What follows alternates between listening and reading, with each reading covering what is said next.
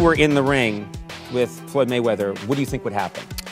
He's obviously an incredibly one of the greatest boxers anyone's ever seen. If you're asking would I like to fight Floyd, I mean, who would not like to dance around the ring for 180 million dollars? Yeah.